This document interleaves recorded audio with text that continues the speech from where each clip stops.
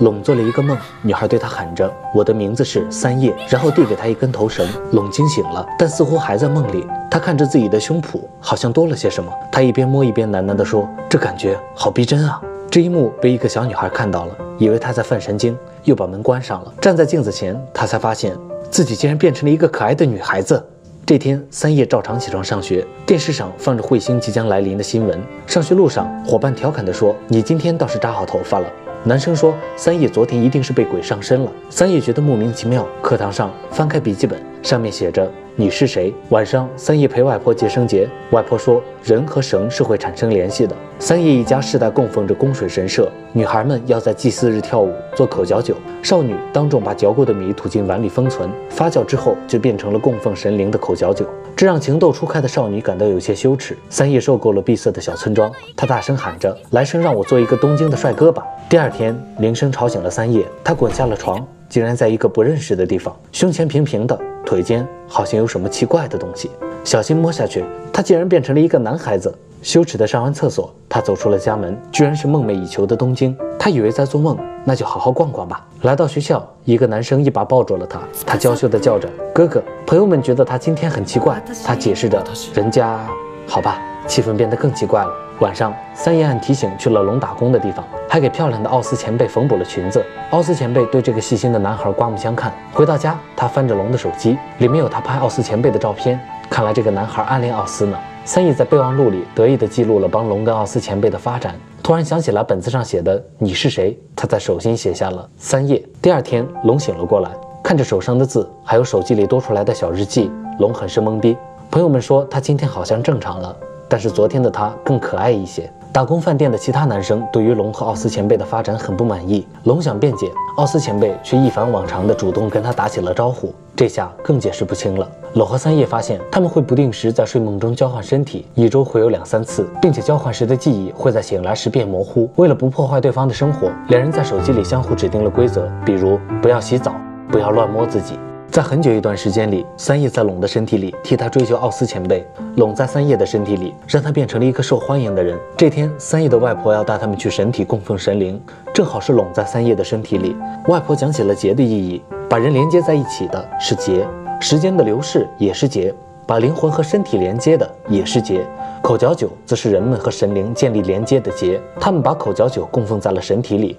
黄昏来临，传说这是时空交错的时间。外婆突然问三叶。三叶，你现在在做梦吗？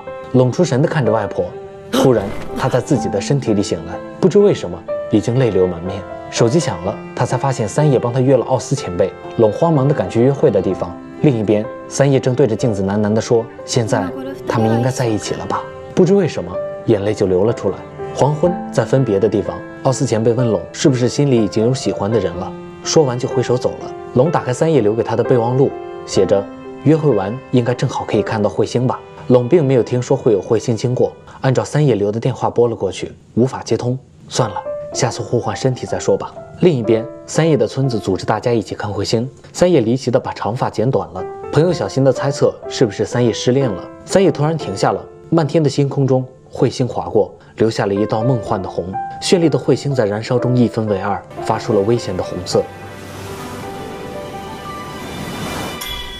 从此，龙就再也没有跟三叶互换过身体。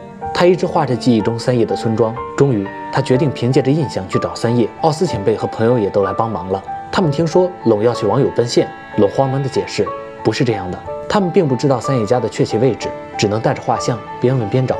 但是直到黄昏都一无所获。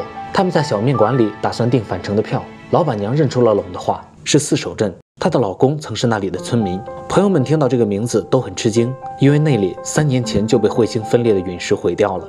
龙赶到了那里，记忆中的小镇已经变成了一个巨大的陨石坑，只剩下了学校。朋友问他是不是弄错了，但是这个学校、这个操场明明都记得很清楚。龙掏出手机想让他们看一看三叶的留言，但是消息竟然在他眼前一条条消失了。龙在那场陨石遇难者名录里找到了三亿的名字，难道这一切都是自己想象出来的吗？龙很沮丧，奥斯前辈来安慰他，无意间看到了龙手上的绳结。龙说是几年前一个女孩给他的，他不认识女孩，但不知不觉就当做护身符带着了。他突然想到了三叶外婆讲的结的含义，决定赶去自己最后梦中的神体看一看。他果然找到了供奉的神体，还有三叶的口角酒。喝下了口角酒，三叶的记忆涌入了他的脑中。米子，米子，米子，米子。再一睁眼，龙穿越到了三叶出事那天的身体里。四叶打开门，看到了一边揉胸一边哭的姐姐，并且姐姐还一反往常的要抱他。四叶赶紧关上了门，心想姐姐一定是坏掉了。龙往学校跑去，他一定要借着三叶的身体救下全镇的人。朋友们听到彗星会炸毁镇子，虽然不信，但还是跟着制定了计划。他们要炸掉电厂，用广播通知居民去学校避难。在这之前，龙要去找到在他身体里的三叶。三叶也在龙的身体里醒了过来。他爬出神体，看到了被陨石夷平的小镇。这时，他才意识到自己死在了陨石下。原来，三年前陨石日，他曾经去到了东京，找到了龙，但他不知道和自己互换身体的是三年后的龙。那时的龙并不认识他。三叶失望极了。临下车，龙却突然叫住了他，想知道他的名字。在人群中，他解下发带，递到了龙的手上。龙也在三叶的身体中响起，给他绳结的就是三年前的三叶。两人终于赶到了同一个山上。但是三年之隔的两人却见不到对方。黄昏之时来临了，时空在一瞬间被打破，回到各自身体的龙和三叶终于见面了。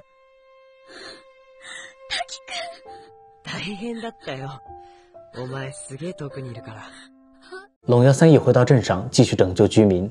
为了不再忘掉对方，龙在三叶手上写上了名字。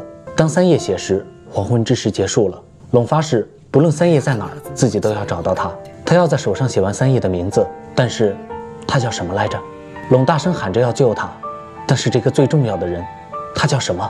三叶那边他们炸掉了电厂，但是根本没人相信所谓的恐怖袭击。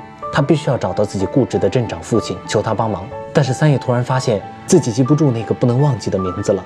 奔跑中，三叶摔倒了。他想起来那个人在手上写了名字，张开手，那个人写的是“我喜欢你”。三叶笑着哭了，傻瓜。这样我怎么知道你的名字呀？他坚定地握紧拳头，找到了父亲。他一定要救下全镇的人，然后找到他。美丽的陨石穿过了云层。拢在往来的地铁上出神地盯着自己的掌心。五年前，自己离奇地出现在四守镇后，就常常感觉若有所失。不知道为什么，四守镇的陨石灾害已经过去八年了，但他还是经常看着有关的报道。那天晚上，小镇偶然地进行了全镇避难演习，大部分人都集中到了学校操场上，躲过了一劫。他总是感觉自己和这件事有着什么联系。拢在床上醒来，他记不得做过的梦。三叶在床上醒来，他不知道自己在寻找什么。ずっと誰かを誰かを探していた。两个人在人群中狂奔着，互相寻找。他们终于知道了自己在寻找的，原来是一个已经忘记的人。在一处台阶，两个人相遇了，但是又害羞的擦肩而过。终于，龙再也不想等了。あの、俺、君をどこかで。私も。君の 名前は？